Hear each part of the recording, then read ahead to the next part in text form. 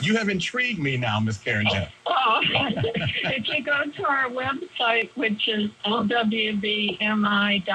it has the membership button right there. It's very easy. Okay, and so and, and, and I don't have to be a woman again to be a member of the Oh, League no, of it's Women men Voters. and women. No, Okay. Real, real, real men belong to the League of Women Voters, right? really. Right. Even on our board of directors. Exactly. Hey, when will we see Promote the Vote be rolled out? When will we begin to see this in our community? Um, we're hoping that it, you know, less is out of our hands, but we're hoping we have the petitions um, printed and that we're in the field for sure by March 1st.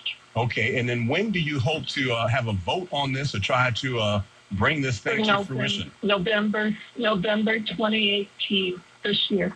Okay, so November of this year, we should see something on the ballot, provided that you and your petition uh, gather petition holders and signature gatherers are successful. Oh yeah, we'll be successful. Mm. We're looking forward to it. Oh, okay, you, you sound pretty confident. I am. I think this is an important issue. I've obviously cared about it for many years, and I think other people do too. Okay, do enough people care about it? I hope so. I guess I'll find out. Yes. well, I tell you what, you got one here. Uh, somebody just called one to make sure that you got your phone number, your contact information, all that out there. So please share that with us. Our contact information for the League of Women Voters is 48, uh, area code 517-484-5383. And our website is lwvmi.org. And I'm there as a contact. Uh, so my email is there at president at lwvmi.org. Now, let me see if I got that down. You said 517 484 5383 is the number to reach the League of Women Voters of Michigan.